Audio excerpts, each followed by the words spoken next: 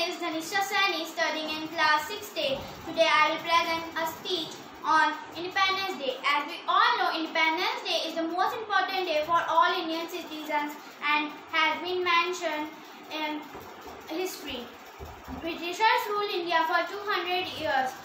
We got independence on 1947, so we celebrate Independence Day on every 15th August. Some great freedom fighters like Mahatma Gandhi, Subhash Chandra Bose, uh, Bhagat Singh, etc. sacrificed their lives for getting independence in India. President hoists the national flag on Red Fort. E flag is even hoisted in schools, colleges, etc. After independence, India got all fundamental rights. We should feel proud to be an Indian and admire independent country, India. I love my country. Jai Hind.